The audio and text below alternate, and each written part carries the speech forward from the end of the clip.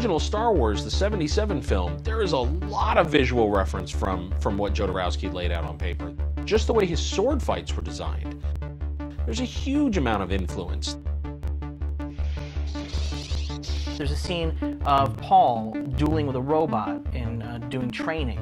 Uh, and it's a lot like Luke dueling with the ball in the Millennium Falcon.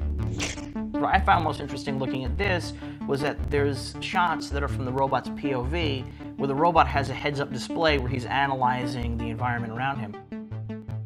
And I was thinking about it, I can't think of an earlier iteration of this scene which we've all seen now a thousand times. The Terminator looking at somebody and analyzing their face. It's one of these things where this is a movie that never got made, but it has its fingerprints all over so many other movies that came afterwards.